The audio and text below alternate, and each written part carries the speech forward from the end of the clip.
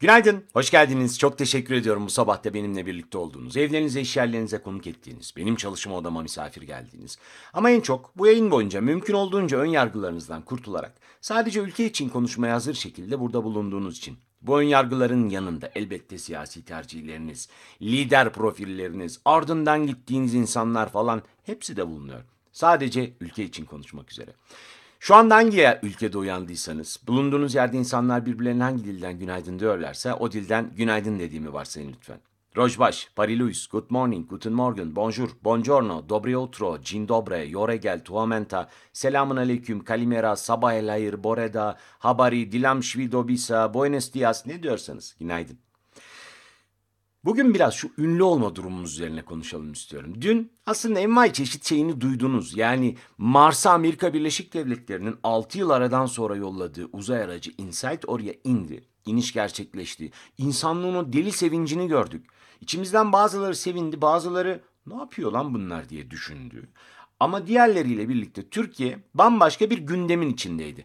O bildiğiniz gördüğünüz şeyler değil biraz daha genişini konuşacağız. Yalnız sizden aşağıdan yayını paylaşmanızı rica edeceğim. Periskop ve Skop izleyicilerinden yayını paylaş tuşuna dokunduktan sonra nerede paylaşmak istediklerine karar verip yayınla desinler ki diğer dostlar da gelsin.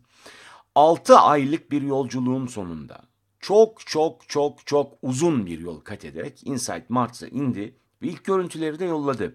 Hatta görüntülerin üzerinde de sosyal medyada büyük geyik döndü.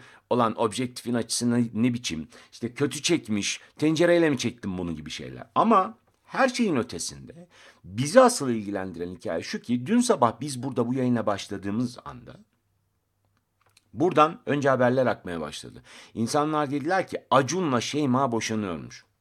Acun'la Şeyma boşanıyormuş. Yani hiç kimsenin boşanmasına sevinilmez elbette ama e, bu bir magazin figürü ve magazin figürünün ötesinde magazinin aslında sahiplerinden biri olarak ki bugün konuşacağımız konulardan bir tanesi de bu. Haberin istediği gibi yapılmasına magazinin sahibi nasıl müsaade ediyor? Diğer haberler nasıl yapılıyor? Hepsini tek tek konuşacağız. Çünkü burada aynı zamanda gazetecilik açısından da son derece sorunlu bir alan var. Bunun da konuşulması gerekiyor. Dün bütün bunlar yaşanırken Türkiye İstanbul'da yaşanan bir helikopter kazasına şehit olan dört evladına da ağladı. Ama hiçbiri, hiçbiri Acun'la Şeyma'nın boşalması, boşanması kadar e, tartışılmadı, konuşulmadı. Sağlıklı bir şey mi bu? Valla insanların delirmemesi için kullanacakları bir sübapsa eğer belki sağlıklı bir şey olarak da adlandırılabilir. Hani delirmek yerine böyle bir şeyle ilgilenmek. Ama biz şu anda yaşadığımız şeyin artık o Andy Warhol'un yıllar önce söylediği bir gün herkes 15 dakikalığına ünlü olacak geyiğinin çok ötesinde olduğunu düşünmek zorundayız. Bu hafta sonu cumartesi sabahı eşimle birlikte bir kafede kahve içerken 3 herhalde böyle 20'li yaşların başında iki kız bir erkek 3 kişi kafeye girdi.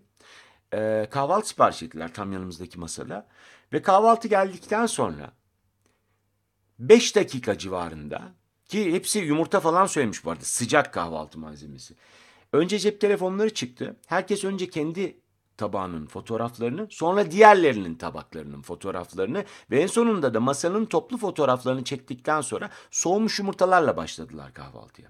Ama kahvaltıya başladıktan sonra kimse birbiriyle konuşmadı. Hiç. Gerçekten hiç. Sadece o fotoğrafların paylaşımıyla geçti zaman. En azından bizim orada oturduğumuz 20 dakikalık, belki yarım saatlik süre içinde tek bir cümle geçmedi aralarında. Belki birbirlerine attıkları mesajlar için bir şey söylemiş olabilir. Ama onun dışında sadece ve sadece orada çekilen fotoğraflarla ilgilendi insanlar. Şunu söylemek istemiyorum. Biz dünyadaki bu büyük teknolojik gelişmeden, sosyal medyanın bu kadar patlamasından, dışarıda duralım, karışmayalım, yapmayalım falan. Ya her şeyden önce sosyal medyayla bu kadar bağlantılı bir iş yapan insan olarak benim bunu söylemem saçma olur. Ama bunu hayatımızın neresine sokuşturduğumuz dün yaşadığımız saçmalıkla o kadar dip dibe bir şey ki. Dün bu magazin işinin figürlerinden bir tanesi yani boşanmanın taraflarından bir tanesi. Şeyma Alıcalı. Bundan iki sene öncesine kadar içinizde tanıyan var mıydı kendisini? Yani yaptığı elbette evinde soğuk füzyon yapsın demiyorum. Ya da kendi hedron çarpıştırıcısını kullandı, kullanarak o müthiş enerjinin açığa çıkmasını sağlasın, insanlığa katkıda bulunsun falan demiyorum. Ama hakikaten hayatınızda bir yeri var mıydı sizin? Ama dün bu ülkenin en azından yüzde ellisi çıldırdı Şeyma boşanıyor diye. Zannedersiniz komşunun kızı.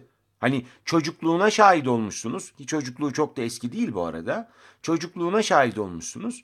Ve onunla birlikte büyüyüp ailesiyle o kadar yakın bir ilişkiniz var ki ailenizden birinin yuvası dağılıyormuş gibi üzüldü insanlar. Ama öte taraftan tam yayının başında söylediğim gibi bugün bütün gazetelerde bu haber var. Hepsinde. istisnasız bütün gazeteler kullanmışlar bu haberi. Niye?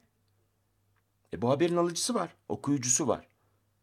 Bu haberin okuyucusu Amerika Birleşik Devletleri'nin Mars'a yolladığı Insight kadar ilgilenmiyor aslında diğer olaylarla.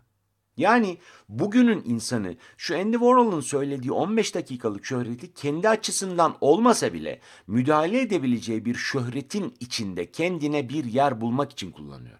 Yani yani Şeyma e, Ilıcalı'nın, Şeyma Subaşı'nın, Şeyma Ilıcalı diyeyim pardon ya nasıl uyduruyorum. Şeyma Ilıcalı'nın hayatındaki o ayrılmayla birlikte kendisine sağladığı yaşamsal olanakları sanki kendi kullanmış, kendi sahip olmuş gibi konuşmaya, kullanmaya başlıyor. Bugün sabahtan beri pek çok izleyiciden mesaj geliyor. İçlerinden bir tanesi şöyle bir şey yazmış. Nurdan Hanım. Yani programla ilgili bölüme çok teşekkür ediyorum sağ olun ama Nurdan Hanım diyor ki Ünsal Bey 10 milyon liralık bir ev karşılığı ve ayda 125 bin lira nafakayla boşandığı söyleniyor. Asgari ücretin böyle olduğu bir ülkede bu reva mıdır? Peki şöyle düşünün.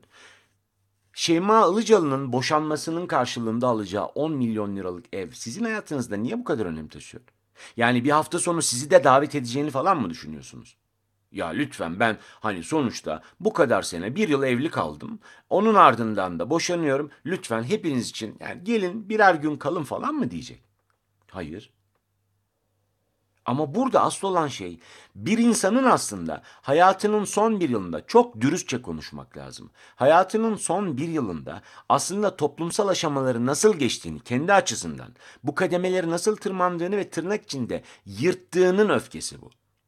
Yani artık onun 10 milyon liralık bir evi var. Yani onun 125 bin lira aylık geliri var. Bugün gazetelerden birinde hangisinde bilmiyorum ama e, uluslararası otomotiv devlerinin CEO'larının yıllık gelirleri kıyaslanmış.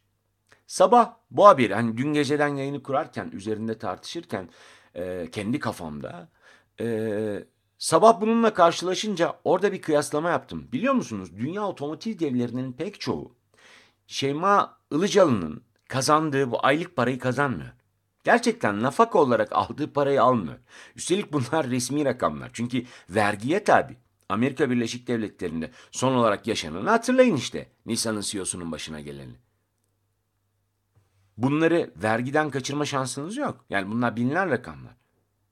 Ama bu bile şunu açıklamıyor. Ya kardeşim bizim hayatımızda kendimiz yırtamadıysak başka birinin yırtması, yırtana öykünmek neden bu kadar önemli?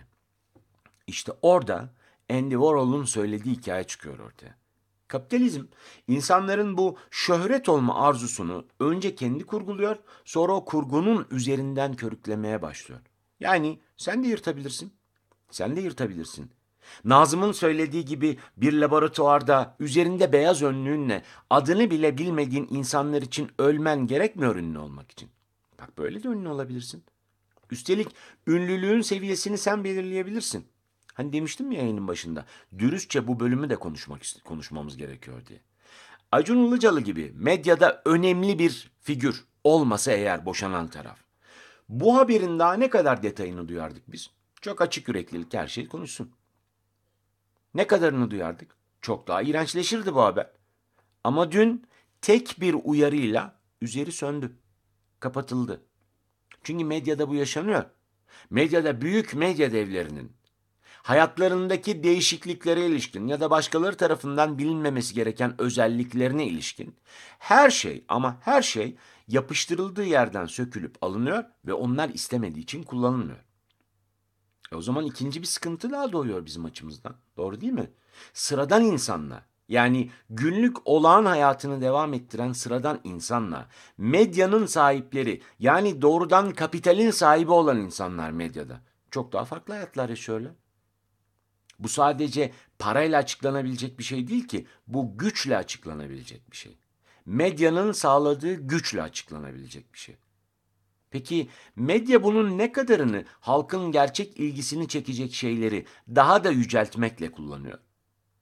Herhalde çok ufak bir bölüm olduğunu siz de kabul edeceksiniz değil mi? Dün 6 ay süren çok uzun bir yolculuğun sonunda Insight Mars'a indi. Mars'tan ilk fotoğrafları yolladı. İnsanlık için hakikaten çok önemli bir adım atıldı. Neden? Çok açık bir gerçek var ki biz bu dünyaya sığmıyoruz. Daha doğrusu şöyle söylemek mümkün sanırım. Biz bu dünyayı kirlettik, bitirdik. Yenisine bakmamız gerekiyor. Yeni bir gezegen bulmak zorundayız. Üstelik bu artık uzay filmlerinin fantezi dünyasının çok ötesine geçmiş durumda. Artık bambaşka bir hayat bulunmak zorunda. Çünkü eskisini kurarken kirlettiğimiz bütün değerleri sıfırdan kurmaya, inşa etmeye ihtiyacımız var. Çünkü bunların toparlanacak yönü yok. Yani buradaki magazin düzeyinden tutun, doğal kaynakların kirletilmesine kadar, insanın kendi eliyle geleceğini yok etmesine kadar. Aklınıza gelen her değeri kirletip içine ettik biz. Bunların düzelme şansı yok. Biz başka bir yerde yenisini sıfırdan kurarak, buradaki tecrübemizi kullanarak, yenisini sıfırdan kurmak zorundayız. Bunun için insanın arayışı. Mecburuz, başka çıkışımız yok. Ama o bulunmuşken dünyada insanlığın ne kadarı buna hazır herhalde bu soruyu da tartışacak cesareti göstermek zorundayız. Çünkü aynen öyle insanın iki ayağı üzerine doğrulup evrim sürecini tamamladığı zannına kapıldığı günden beri aslında yaşananlar evrimsel değişimin hala devam ettiğini gösteriyor bize. Bu sadece eksilen işte en gerideki azı dişlerimizden kuyruk sokumumuzda artık iyice küçülmeye başlayan ufacık çıkıntıya kadar her şeyi etkilemekle birlikte bir yandan da dünyada kurduğumuz, kendi elimizle kurduğumuz, adına da medeniyet diyerek aslında epeyce yücelttiğimiz bu toplam değeri aslında çok da severek karşılamadığımızı gösteriyor. Biz evrime devam ediyoruz. Yaşadıklarımızın tamamı bunun içinde. Yani Andy Warhol'un söylediği o ünlülük şöhret arayışımız da bunun içinde. Dün yaşanan magazin rezaleti de bunun içinde. Dönüp bakmadığımız dört vatan evladının şehit olduğu helikopter kazası da bunun içinde. Ama bununla birlikte biz kendi gündemimiz içinde yoğrulurken başka bir gezegene kaçmamızı gerektirebilecek kadar bu kadar büyük insanlıktan çıkışımızı gösteren her türlü yaşanmışlık gözümüzün önünde duruyor artık aslında. Üç gün önce, bundan üç gün önce kadına şiddeti protesto etmek isteyen kadına şiddet uygulandı bu ülkede. Ve bizim devletimiz dalga geçer gibi Fransa'daki protestolarda Türk göstericilere uygulanması muhtemel şiddeti kınadı. Bu dünya çok kirlendi. Gerçekten kirlendi. Artık burada geçmişe dönerek toparlayabileceğimiz çok şeyin kalmadığını biliyoruz. Yani ne doğal kaynakları, elimizdeki bütün imkanları, kazandığımız bütün değeri kullansak da temizleme şansımız var. Ne bu saatten sonra gıda güvenliğini sağlayarak insanlığı bambaşka bir yere götürerek hani daha sağlıklı bir yaşam kurabilme şansımız. Sıfırdan kurmak zorundayız. Bugüne kadarki medeni tecrübelerimiz açık söylemek lazım patladı. Çok da başarılı değiliz bunu yapmakta. İnsanoğlu bugüne kadarki tecrübesiyle yeni bir düzen kurma arayışı içinde. Yani Mars çalışmaları, Ay çalışmaları hepsi ama hepsi bununla çok yakından alakalı şeyler. Burayı pislettik. Burada kullanılmıyor. Burada bir şey yapma şansımız yok artık. Ve kurduğumuz kendi düzenimizin içinde büyük bir acı çekiyoruz. Çok büyük bir acı yaşıyoruz. Biri bir boşanma karşılığında kazanılan 10 milyon liralık evle ilgileniyor ve kendi durumuna bakmadan aybaşı geldiğinde kirasını nasıl ödeyeceğini zerre kadar düşünmeden öbür 10 milyonluk evle ilgileniyor. Diğeri 1604 liralık asgari ücret içinde çocuğunun doğru düzgün bir eğitim alarak televizyonda gördüğü o Mars seyahatine katılabilecek düzeyde iyi bir insan olarak yetiştirilmesinin hayalini kuruyor. İnsanoğlunun mücadelesi kuşkusuz bu. Bu kaçınılmaz bir mücadele. Yani ilerlemeyi düşünenlerle var oldukları yerde konumu koruyarak aslında sıcak döşeklerinde, koltuklarında yani battaniyelerini üzerlerine çekip kapılarını kapattıklarında dünyanın bütün pisliğini dışarıda bıraktıklarına inanan insanlar arasında bu mücadele. Nazım'ın söylediğine dönelim. Hani adını bile bilmediğin insanlar için üzerinde beyaz bir önlükle laboratuvarda ömür tüketmenin gerekçesi ne o zaman? Bugünkü yayının başında konuştuğumuz hikaye bu işte. Yani o kafede fotoğrafları çekerek kendisinin kahvaltıdan alacağı zevk yerine onu insanların gözüne sokarak edineceği bir dakikalık, 30 saniyelik şöhret peşinde koşan insan arasındaki mücadeleyi yaşıyoruz biz şu anda. Bunun adını isterseniz Acun Ilıcalı ile Şeyma Ilıcalı deyin. İsterseniz NASA'nın çalışması sonucunda Inside'ın inişini seyretmeyen, ona sırtını dönen insanlar deyin. Fark etmez ki. İnsanoğlunun mücadelesi tam doğru yerde. Çünkü aslında insanların büyük bir bölümünün gitmek istediği yer.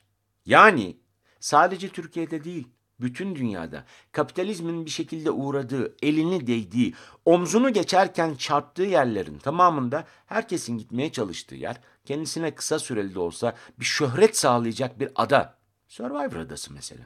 Ya da başka bir şey. Bir televizyon etkinliği. Yaptığı herhangi bir saçmalık. Rize'de belediye başkanı adaylarından bir tanesi kampanyasında Rize'nin üstünü kapatarak yağmurdan etkilenmesini engelleyeceği sloganını kullandı. Yanlış duymadınız. Aynen bunu söyledi. Dedi ki çok yağış alıyoruz biz. Bana oy verin belediye başkanı olursam Rize'nin üstünü kapatacağım ben.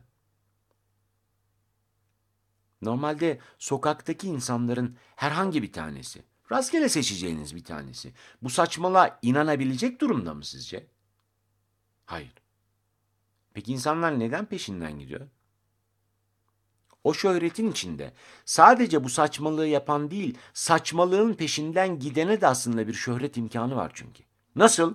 Bu şöhreti kazıyarak, ardından giderek, devam ettirerek, tıpkı hani burada geçen yıl yaptığımız ve üzerinden bir buçuk yıl geçmesine rağmen neredeyse hala altına saçma sapan yorumlar yapılan, hala saçma sapan yorumlar yapılan Dünya düz değil, sen yobazsın yayınında olduğu gibi. Onun altına o yorumları yazanların pek çoğunun aslında gerçeği çok iyi bildiğini siz de düşünüyorsunuzdur muhtemelen. Niye yapıyor o zaman insanlar? Çünkü onlar da o şöhretten nemalanıyor. Onlar da onun ardından gidiyorlar. Onlar için de verilebilecek bir şey var. O yüzden mesela biz bugün Hala kadına şiddeti konuşulurken, kadına şiddete ilişkin sosyal medyada paylaşılan tek bir mesajın altına bile aşağılık binlerce mesaj yazılıyor.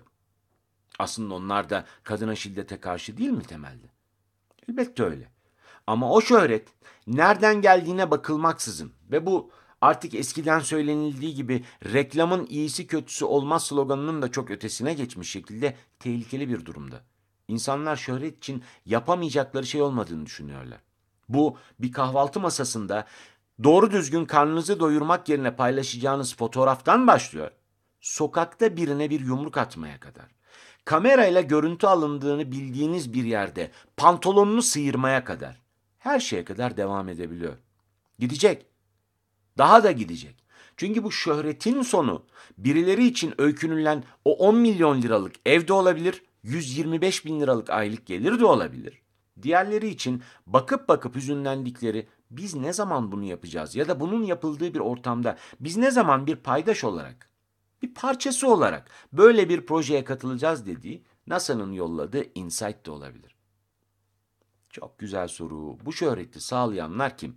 Tam da oraya geldik zaten. Şöhreti sağlayan, bizatihi bu şöhretten nemalanan insanlar. Bu şöhretin devamı lazım ki kendilerinin ya da başkalarının yaptıkları abukluklar devam etsin. Yani dünkü o magazin figürleri içindeki boşanma haberi var ya en çok Acun Ilıcalı'ya lazım.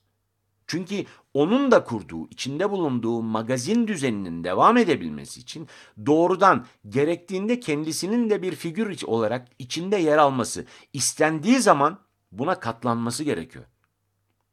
Mutlu mu? Hiç zannetmiyorum. Böyle bir şeyin ortada yaşanmasından.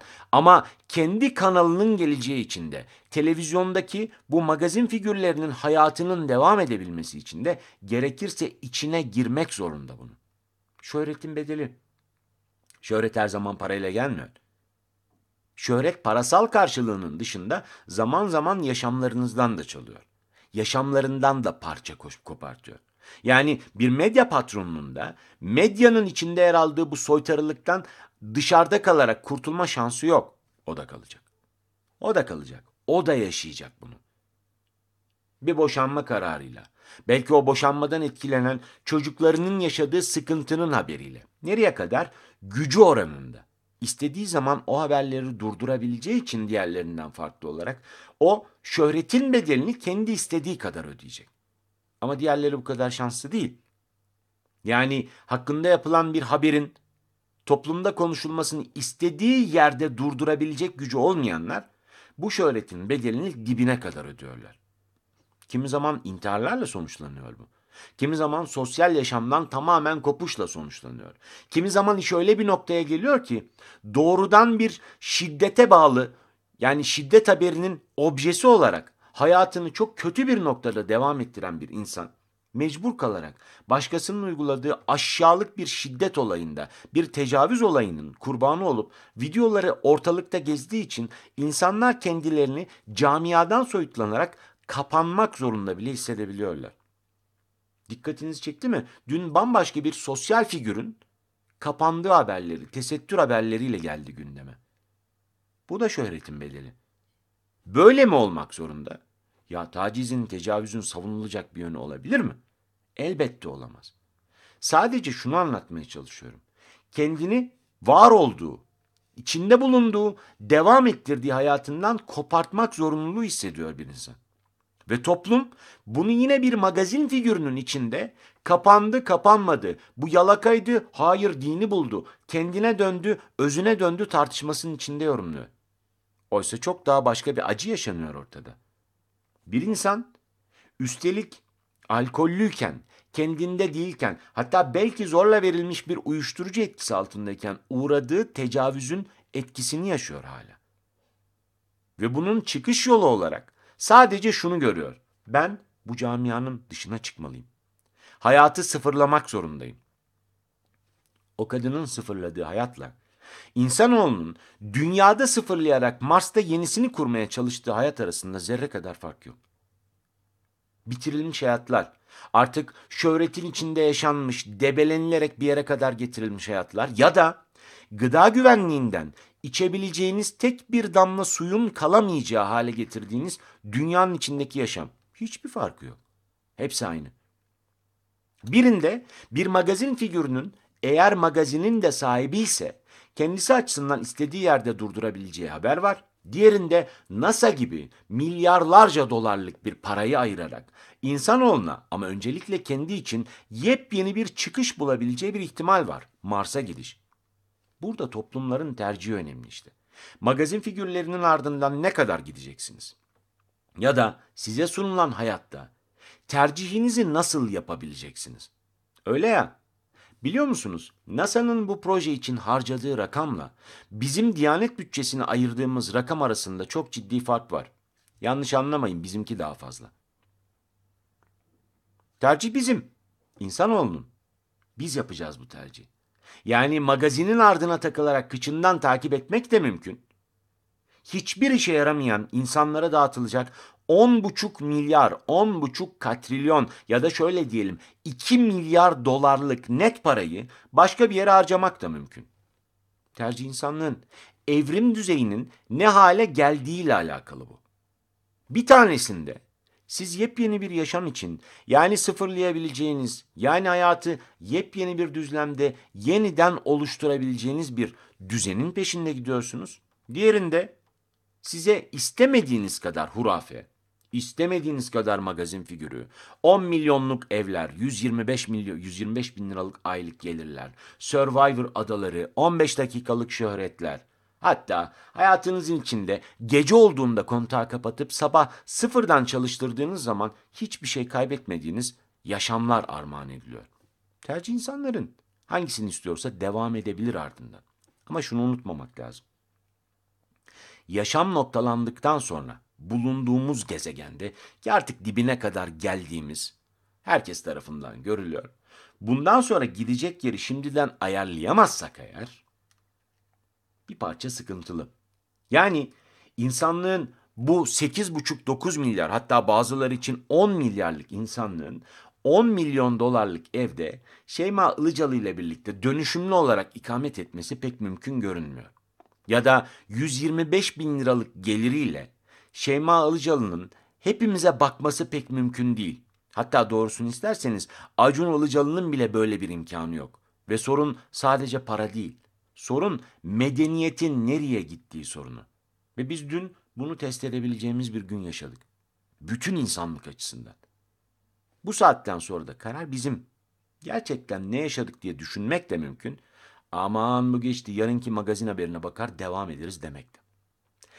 Hepinize çok teşekkür ediyorum. Sağ olun, var olun. İyi ki varsınız. İyi ki dünyanın bir yerinden gelip bir dakika ya aynı şeye inanmıyoruz ama aynı ülkeyi seviyormuşuz madem. O zaman oturur konuşuruz diye burada buluşuyoruz. Gerçekten derdimiz bu. Biz hayata farklı yerlerden bakan insanlarız.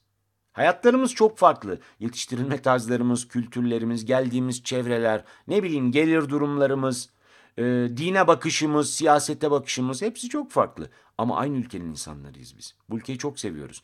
İyi yaşamayı biliyoruz bu ülkede. Ve iyi yaşamayı talep edebilmekten korkmuyoruz biz.